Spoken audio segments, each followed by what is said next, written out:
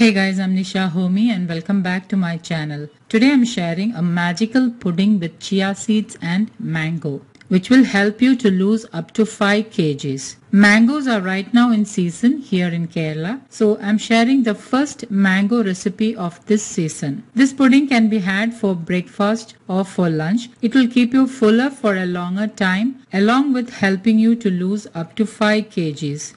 Mangoes are great for weight loss. The sweetness of mangoes helps in curbing the cravings for other sweets like pastries, cakes, cookies, etc. Mangoes are high in vitamin C, vitamin B6, potassium, copper and vitamin A. They are fat-free, cholesterol-free and salt-free. They are super high in iron and loaded with fiber. Chia seeds are rich in fiber and one of the best plant-based sources of omega-3 fatty acids. So if you're a vegan, chia seeds must be definitely in your diet to get that extra omega-3 fatty acids. Now, did you know that omega-3 promotes weight loss, reduce harmful cholesterol levels, reduces the risk of diabetes, reduces appetite and fat storage, and increase the levels of good cholesterol. If you would like to know more about chia seeds, please do check my video on chia seeds. The links will be down below in the box. Please do check it out. To make the pudding into a bowl, add in chia seeds and mix it lightly just to make sure that there are no lumps.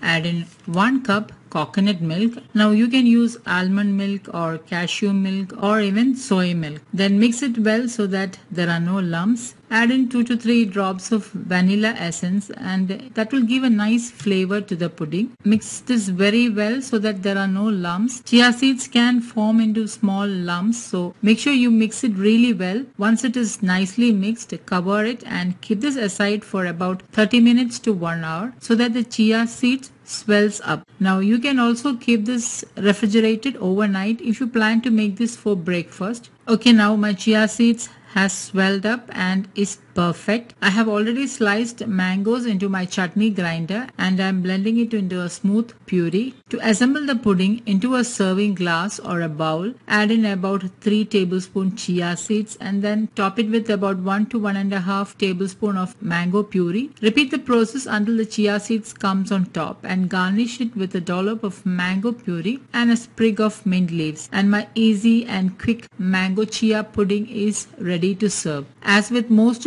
my recipes, this is also sugar free and a great way to start your day. So replace your breakfast with this pudding and you will notice a considerable weight loss in a few days. If you're new to my channel, hit the subscribe button so that you can get updated when I post new videos.